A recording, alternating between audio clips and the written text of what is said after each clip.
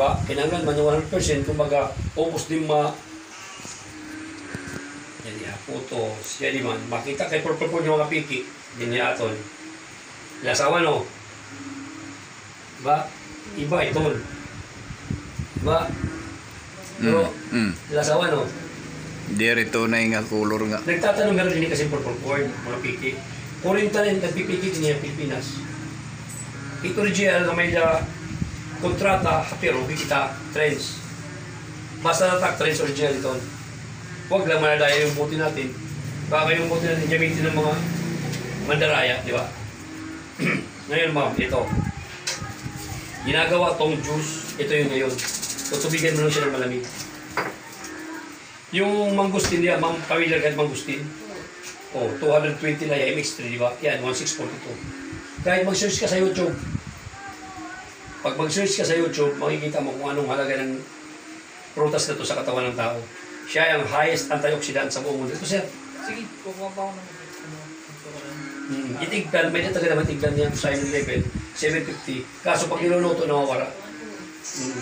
Kaya nga tayo malamig lang pwede, hindi pwede sa mainit. Hindi pwede parawan. Mm, Hindi pwede parawan. Ma'am, ito tinaturok hit. Andes Mountain. 1,000 years na niyang ginagamit. Sa Machu Picchu, Peru. South America. Alkaline land. Alkaline mountain. Nagpo-produce di alkaline water. So kasi siguro nga sugad kataas di alkaline level kay alkaline palida na produce para nila maging pagkaan prutas. Tapos kung nakapapasok, mapasok.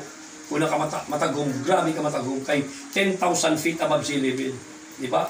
Grabe ka taas, sinagyan sa plano. Mm.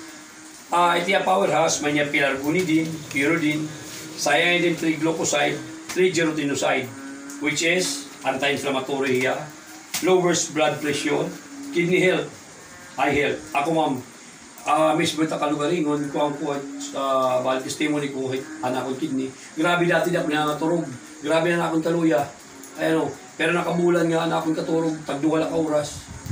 Nagito na pinamasada ako, grabe na kuloy ng lawas. Pag abot niya pulpul ko, do pala kadlaw. Karasan na katurog, bumalik ang kusugan akong lawas. Hasta pa yun, nabalik na nabat akong lawas. Hmm. Kaya ini kasi, ma'am, ini nga atong product, it mga variety mo ugat, iya ini gililinis. Tan, asya nga high blood pressure kita kayo, no? It mga bara, iya da lagyap. Pag tutubar mo, pinapadako na ni ugat. Tapos, pagpapapasan ng sina, pupus na liwat. High blood ka na naman. Di ba? Ugat na naman, tumarga na naman, sasara na naman, pagpapapasara na naman. So, paulit-ulit mong ginagawa, ilang taon na nasisira yung kidney mo, nasisira yung katay mo. Asya na na nabuhakon. Kung pa laki na mo itong pulpul. Anak, ang itatambal ko, din ko na kayo naturog, ako ng itim. Diba? Kumipot na ni Habol. Ibig sabihin, nagbusog niya din. Aniya patay kasi ginabuhi. Up.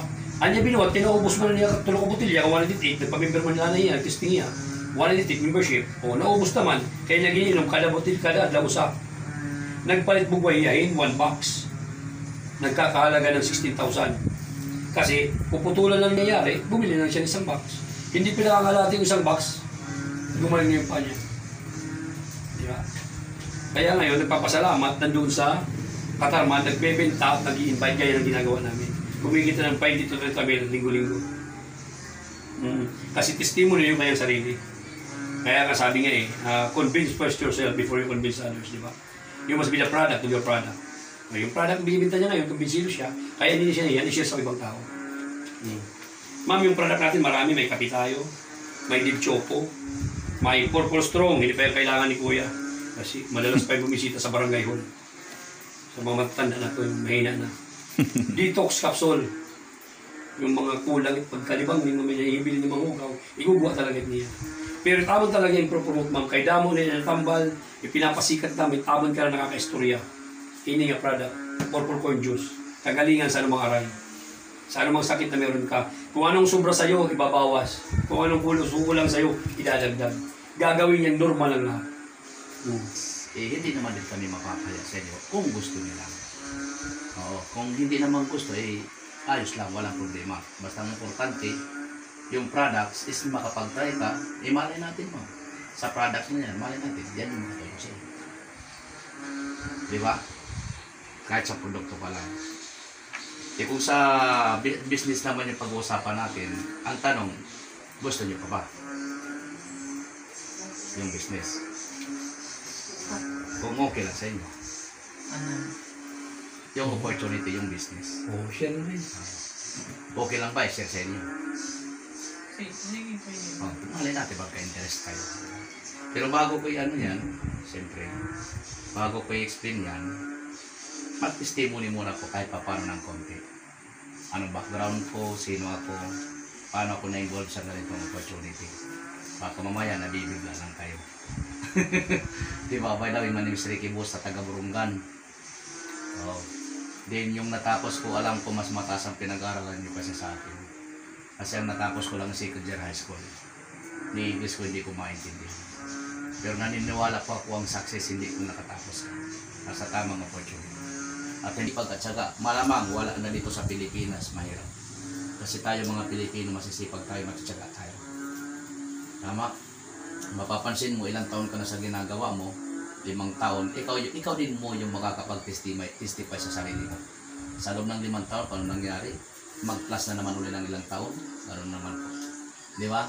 So itong opportunity na to, naging first timer lang din po ako. Katulad din sa inyo kasi trabaho ko dati, ito po yung trabaho ko dati. Ako po yung isang hamak na trabahante lang din ng 18 years sa Manila. Iba't ibang trabaho sa Manila. Housekeeping, janitor. So doon ako na-involve sa ganitong opportunity. Na-explainan lang din, nag-negative din. Wala nga din ako sa sarili nang in-explain ako nito. Pero na nakita ko yung sistema na pwede mabago yung buhay ko. Green up ko yung opportunity. Trinay ko lang kasi wala naman mawawala. Kasi minsan sa atin, ina inaayawan natin yung opportunity. Yun na pala yung mga katulong sa atin. Tama.